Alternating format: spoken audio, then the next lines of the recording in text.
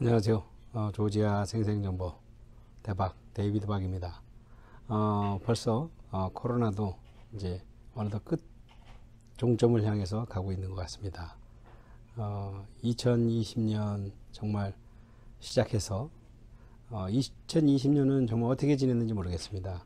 어, 정말 너무나 무기력하고 정말 뭐 아무것도 하는 거 없이 그렇게 지나고 2021년을 맞아서 그나마 어, 개인 여행객들이 좀 늘어나고 그것도 한국에서 어, 여행 다녀가신 분들이 또 꿀 제가 사업하고 있는 꿀 사업 네 중에 하나 코카사스 천연 꿀 또 한국에서 어, 계속 주문을 하셔서 어, 현지에서 박철호가 살아남아야 된다. 아, 이런 어, 말씀들로 그 한국에 계셨던 많은 그 여행 다녀가셨던 분들께서 또 꿀 주문을 하셔서 꿀 주문으로 어 2021년 그리고 또 이제 개인적으로 이제 하반기서부터 늘어나는 여행객들 그 다음에 또 이제 어 비즈니스 방문객들 어 이런 일들을 하면서 2021년을 보내고 2022년을 맞이했습니다. 아, 2022년에는 다행히 어 정말 코로나 이전만큼은 아니지만 어, 다시금 또 여행객들이 증가하면서 어, 바쁘게 어, 지냈던 것 같습니다. 어, 내년은 정말 뭐 어떠한 사태가 생길지는 모르겠지만 하도 요즘 뭐 변수가 너무 많습니다. 또 우크라이나, 러시아 전쟁도 있고 어, 그러다 보니까 또 항공료 요즘 너무 비싸죠. 어, 그래서 2023년은 어떤 일이 생길지 참 무슨 사태가 벌어질지는 모르지만 현재 입장에서 보시면 보면 어, 20년 21년보다 22년이 낫고 아, 23년에는 더 나아지지 않을까 이렇게 생각합니다. 음, 제가 이제 조지아에 와서 산 지 15년이 됐습니다.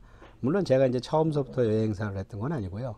처음에 이제 가이드부터 시작을 했죠. 2011년이었던 것 같습니다. 한국에서 단체팀이 왔는데 당시에 한국어를 하는 어, 현지인 학생이 가이드를 나가기로 해서 나갔는데 안녕하세요 이 한마디를 하고 어, 투어 진행이 안 됐다 그럽니다.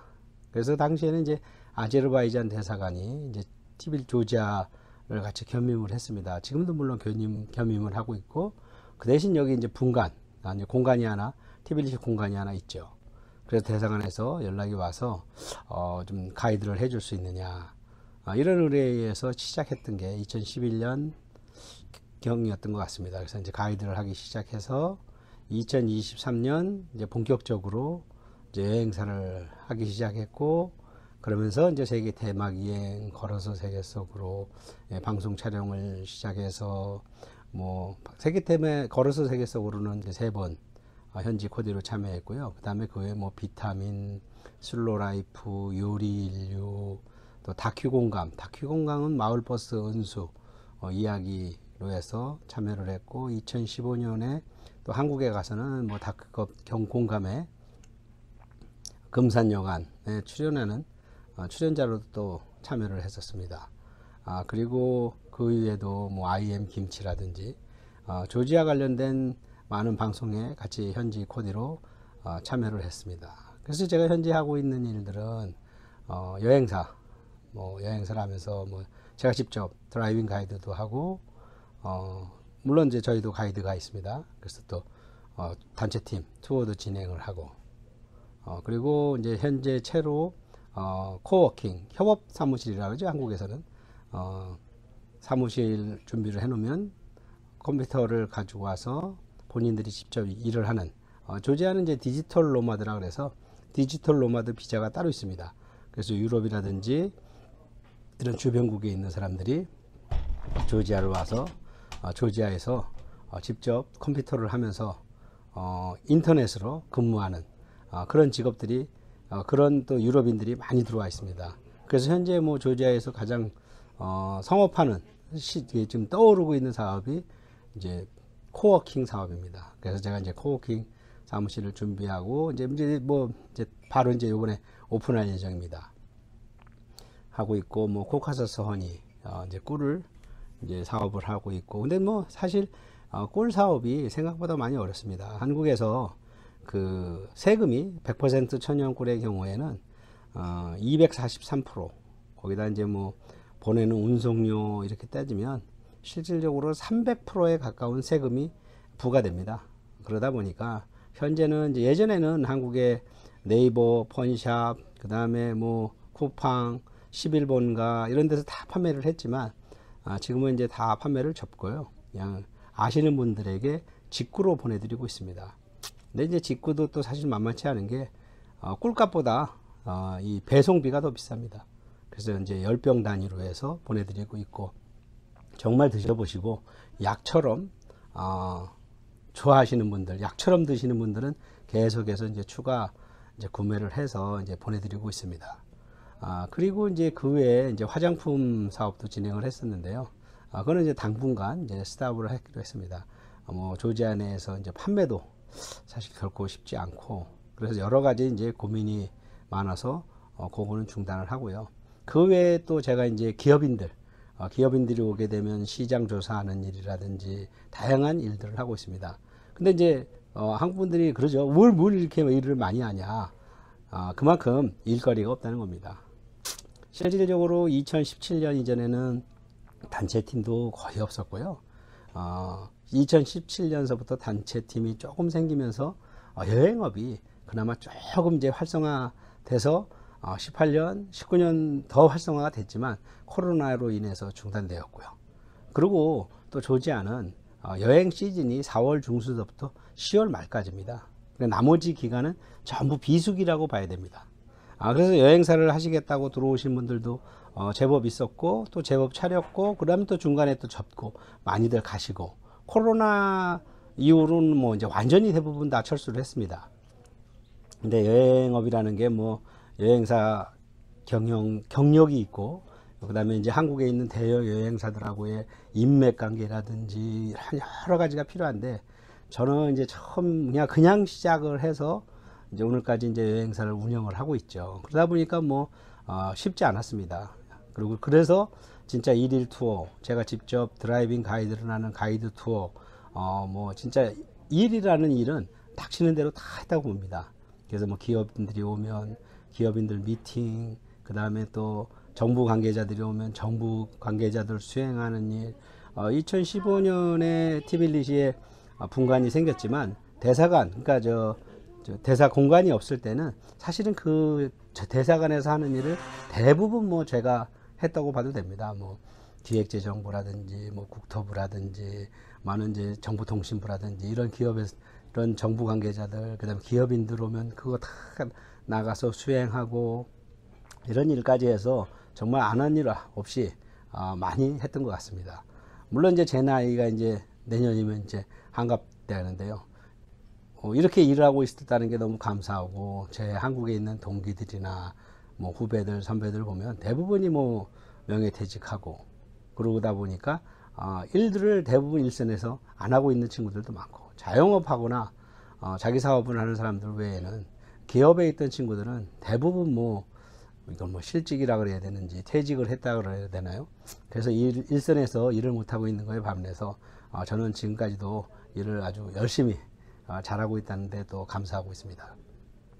아, 제가 이제 이런 제에 대한 말씀을 드리는 거는 제가 일전에도 말씀드렸지만 조지아에 와서 하지 말아야 될 것들 아, 이런 걸 이제 계속 시리즈를 만들고 있고 아 그러면 조지아에서 하면 좋은 것들 또 이런 것도 어, 또 준비를 해봐야 되겠다 생각해서 오, 올리고 있습니다. 아, 먼저 시간에도 말씀드렸지만 아, 조지아에서 어, 좋은 거 아, 이건 한 달 살기 아, 이런 거 너무 좋습니다. 아, 그다음에 뭐 1년 살아보기 아, 이런 걸 저는 적극 추천드립니다. 아, 그래서 어, 여행을 오는 거, 그러니까 은퇴 이민 이런 건 생각하지 마시고 은퇴 여행을 조지아에서 즐겨보시라. 어, 은퇴 여행은 적극 추천드립니다. 물론 이제 언어적인 문제도 있지만 요즘 언어라는 게 큰 의미가 없습니다.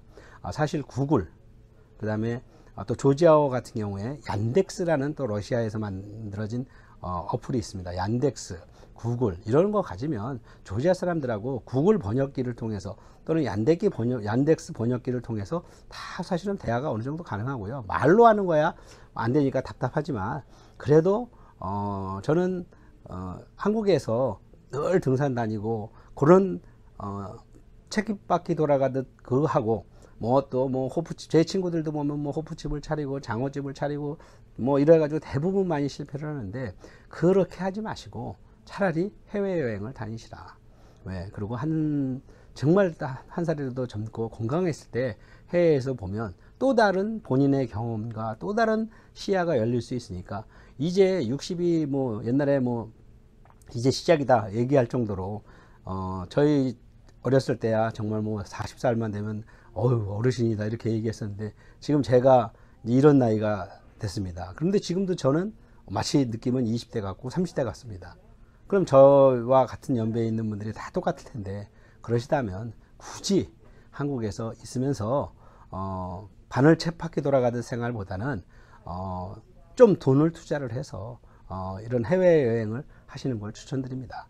어, 물론 이제 해외 여행 나오면 어, 힘들죠. 집에 가는 게 좋죠. 그래서 가족 부부가 같이 여행을 한다면 어, 더 좋겠죠. 그리고 혼자라도 혼자 여행하시는 분들 요즘 많습니다.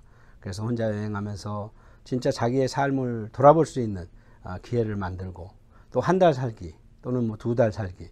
어, 뭐 마음에 안 들면 다시 한국으로 돌아가면 되고. 어, 꼭 틀에 박혀 있는 사실 우리는 어려서부터 모든 교육을 받은 시스템 자체가 딱 틀에 박힌 뭐가 딱 떨어지는 어, 이런 교육을 받다 보니까 꼭 뭔가를 처음부터 목표를 가지고 정해놓은 대로 달려가야 되는 어, 그런 삶을 많이 살아왔습니다. 그러니까 저 역시도 마찬가지였고요. 그래서 제가 봤을 때는 어, 은퇴 여행을 하시라. 그래서 뭐 다른 나라들도 많지만 여러 나라도 다녀보시고 그리고 조지아라는 나라 특히 은퇴 여행을 오시면 좋습니다. 왜? 일단 기본적으로 어, 여기는 어, 에어비앤비라든지 또는 렌트를 할 1년 뭐 요즘은 이제 아파트 렌트를 하면 1년 단위로 계약을 해야 됩니다. 근데 모든 가구, 집기, 컵, 어, 하다못해 포크까지 다 준비되어 있습니다. 침대포, 수건까지. 그러니까 추가로 돈 들어갈 게 없습니다. 물론 어, 자기 원하시면 뭐 수건이라든지 침대포라든지 이런 건 좀 사시면 되겠죠. 그러니까 어, 나이에 그러니까 나이가 들면 점점 짐을 정리하라 그러지 않습니까? 근데 조지아 같은 경우에 1년 살기를 왔다. 그럼 짐을 어, 늘릴 필요가 없습니다. 있는 짐 그대로에 어, 자기가 필요한 것들만 사용하는 것만 바꾸고 그러고 나서 나중에 떠날 때는 그걸 버리고 가면 됩니다. 그리고 거기다 두고 가면 되죠. 그래서 어, 이런 나라, 특히 조지아 같은 나라 모든 게 다 갖춰진 데서 한 달 살기, 1년 살기 좋습니다. 그 다음에 어, 최근에 뭐 전 세계가 다 물가가 올라서 조지아도 물가가 올랐습니다. 아, 그렇지만 어, 그래도 아직까지 물가는 저렴하다. 예를 들어서 뭐 공산품이라든지 외식을 많이 한다든지 이러면 비용은 많이 들겠죠. 근데 외식의 경우에도 한국에서 같은 스타일로 먹는 거에 반값 정도 안 된다고 보시면 됩니다. 그건 가성비 면에서 또 좋고요. 그다음에 뭐 공산품을 많이 산다든지 이러지 않고 농수산물 뭐 이런 식자재들을 주로 구입해서 먹는다면 어, 지금도 가성비가 좋습니다. 어, 예를 들어서 수박 같은 경우에 어, 약 키로에 200원 정도 하거든요. 그럼 10kg짜리 그러면 거의 뭐 2,500원, 3,000원 내외 10kg 내외짜리 수박, 그 다음에 뭐 복숭아 아, 이런 과일들도 풍성하고 그 다음에 뭐 농산물 다 대부분이 풍성하기 때문에 제가 봤을 때는 어 뭐 얼마 생활비가 얼마를 드냐 아, 이렇게들 많이 물어보시는데 그건 뭐 장담할 수가 없죠. 그건 생활하기 나름이기 때문에 다만 어, 집에서 밥을 해 먹고 그렇게 생활을 한다면 정말 한국에서 들어가는 비용에 어, 한국 생활비에 뭐 반도 안 들어가게 생활할 수 있지 않을까. 그리고 뭐 버스비, 택시비 다 올랐습니다. 100% 올랐는데 택시비 경우에 옛날에 한 1,500원, 기본 요금이 1,500원이었다면 지금 한 3,000원 정도 올랐습니다. 그래도 여전히 싸죠. 그리고 버스비 예전에 어 200, 200원, 250원이었다가 지금 한 500원 정도 되는데 그래도 여전히 쌉니다. 그리고 대중교통 버스 시스템이 잘 되어 있습니다. 지하철하고도 연계가 되고 그 다음에 환승도 가능합니다. 1시간 내에 어, 내가 147번을 타고 갔다 130번으로 갈아탄다. 그럼 1시간 내에 환승도 됩니다.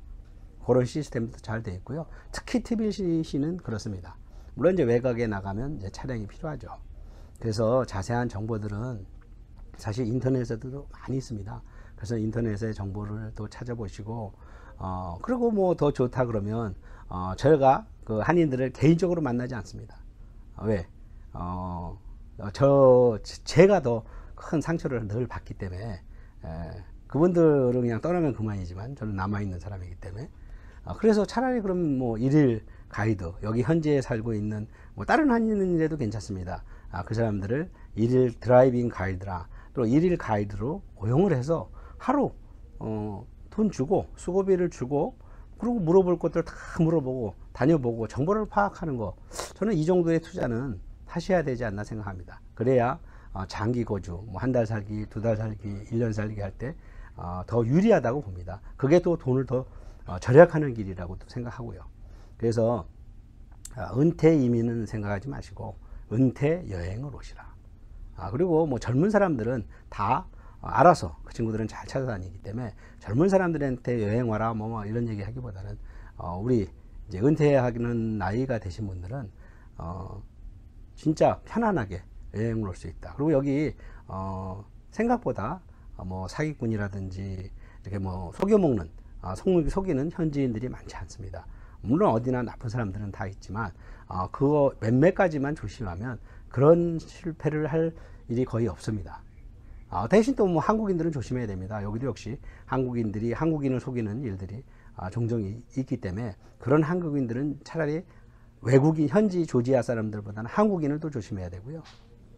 그렇다면 어, 은퇴 여행을 오면 뭐 한 달 살기도 좋고 두 달 살기도 좋고 좋다.